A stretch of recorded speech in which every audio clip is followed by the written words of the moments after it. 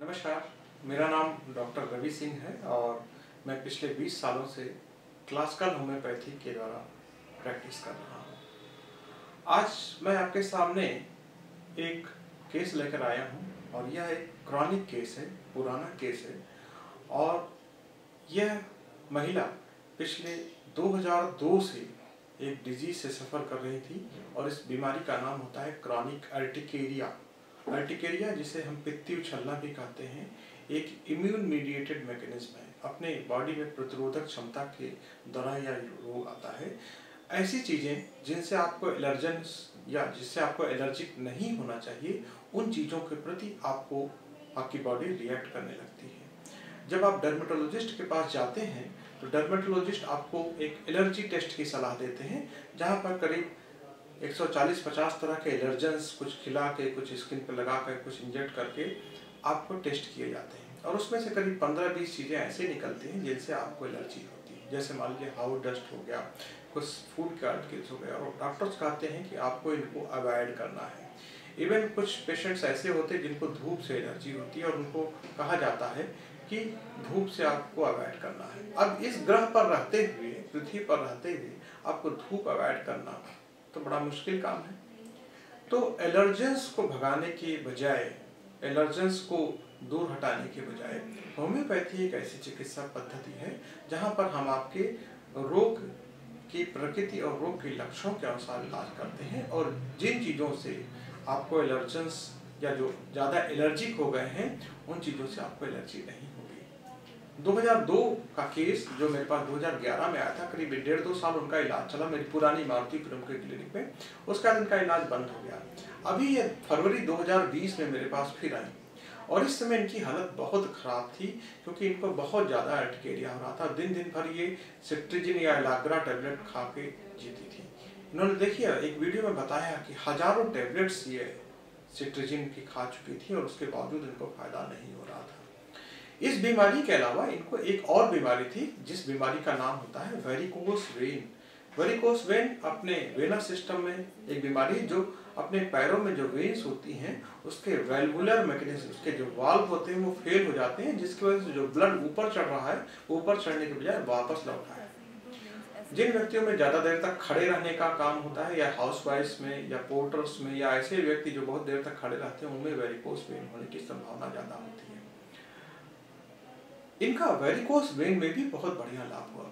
मैं ये नहीं कहता कि 100 परसेंट ठीक हो गया, लेकिन जो ये वेरिकोस वेन के वजह से जिनको पेन वगैरह हुआ होता था, वो सब बिल्कुल ठीक हो गया।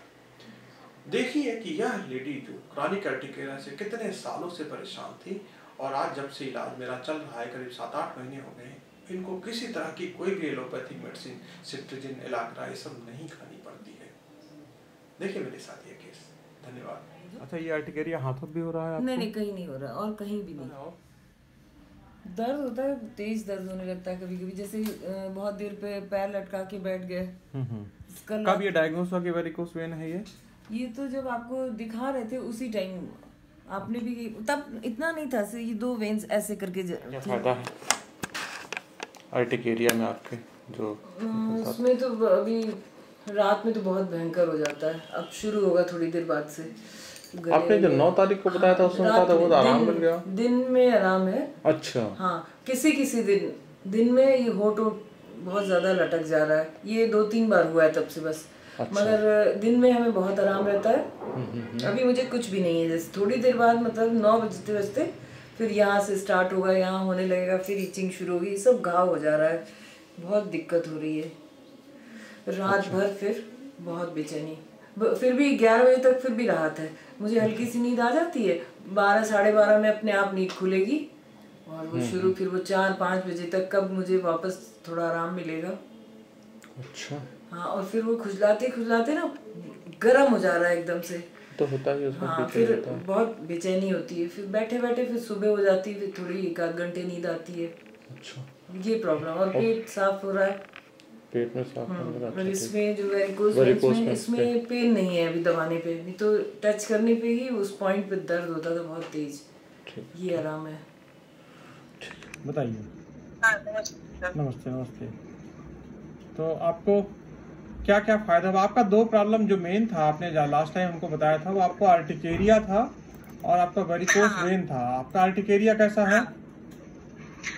99% तो फ़ायदा हो गया मुझे। अर्टिकेरिया में तो मुझे बहुत फ़ायदा हुआ। आपने सेकंड विज़िट में बताया था कि आपको अर्टिकेरिया जो हो रहा है दिन में तो ठीक है रात में फिर हो जा रहा है तो वो रात वाला भी अब चला गया अब मुझे मुझे काफ़ी बहुत आराम हो गया है। ठीक है। कभी कभार पिछले महीने एक दो हुआ था उसके बाद नहीं हुआ है। ठीक है और वेरिकोस वेन का कैसा है आपका जो पेन वगैरह होता था? वेरिकोस वेन्स में पेन नहीं है। हाँ। ये अ, अभी प्रोमिनेंट तो वैसे ही है उसमें ब्लड भी दिखाई देता है मगर हाँ। पेन भी नहीं है नहीं रहता है आर्टिकेरिया जो सबसे मेन ट्रबल था वो मेरा हंड्रेड परसेंट क्योर है। बहुत अच्छी बात बहुत अच्छी बात। बहुत कठिन बीमारी होता है आर्टिकेरिया मेरे पास एक पेशेंट आया था जानते हैं उसने क्या बताया था? अभी मैं आपको सुनाऊँगा उसका। तो उसने कहा कि मैं कितने हज़ार टेबलेट सिट्रिजिन खा चुका है। तो मेरी हज़ारों। तो मेरी भी हम 2002 से खा रहे हैं ना। 2002 से, से, हाँ। सिट्रिजिन सिट्रिजिन पहले एविल लेते हाँ, थे। फिर हम सिट्रिजिन लेने लगे। अभी पिछली बार हम एक महीने में लास्ट ईयर जब हम आपके पास आए थे तो एक महीने में हमने लगता है हम तीन सौ तो खा ही गए होंगे। हम एक एक दिन में चार चार खा जा रहे थे। कुछ असर नहीं हो रहा था अब। हाँ हाँ तभी तो हम आपके पास आए थे। और जब से हमारे पास आए तब से नहीं लेने की भी ज़रूरत नहीं पड़ी थी। बस वही सेवनटीन फेब को हम आए हैं। नाइनटीन को हमें शादी में जाना था जौनपुर गए। वहाँ पे मुझे दिक्कत हुई थी। एक खाए थे कुछ असर असर नहीं हुआ अपने आप शांत हो गया फिर रात भर में। है है। और चक्कर का प्रॉब्लम कैसा आपका? वो सब तो पहले ठीक हो गया था। वेरिकोस वेन कैसा है? वेरिकोज वेन्स में बीच में मुझे पेन हुआ था। दो महीना पहले बताए थे उनको बहुत देर तक खड़ी उड़ी थी क्या? हाँ कुछ काम किए थे किचन में। तो लेकिन अब दर्द तो नहीं है। प्रोलॉन्ग स्टैंडिंग अवॉइड कीजिए। वो तो आप हमको पहली बार भी बोले थे लेकिन कुछ काम होता है ना करना ही पड़ता है ये हो जाता है। बाकी दर्द नहीं है पर वो कालापन अभी नहीं गया। है कालापन छोड़ दीजिए दर्द न रहे बस और दर्द तो आपकी नसें ना है। फूलें। हाँ, नस भी नहीं ना। हो फूली है। ठीक है। ठीक है ठीक है। यदि आपको इस क्लिनिक से इलाज लेने की आवश्यकता है तो यह क्लिनिक लखनऊ में स्थित है।